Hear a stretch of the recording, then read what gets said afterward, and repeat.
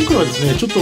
えーと、たくさんあるんです。いろんなことやらなきゃいけない、えー、ヘキサトニックあとペアリングですね、えー、ハーモニーの中のペアを組んで、えー、いろいろ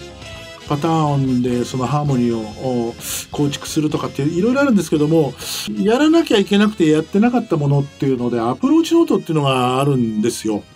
で今回ちょっとそれを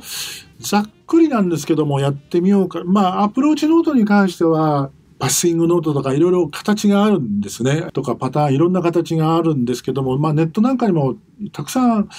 特にギタリストなんかのアプローチノートのあの解説っていうのはもう随分たくさんあるんだなと思ってこの前見たんですけどもよくあるよくあるっていうかアプローチノートっていうのは大体決まってるんですね。えー、その中のいくつかをちょっと今日はその、えー、メジャーコードそれと,、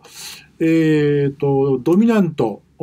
で、マイナーもちょっと2種類あります。えー、そのマイナー、なぜマイナー2種類あるかっていうのはちょっと後で説明しますけども、やってみたいと思います。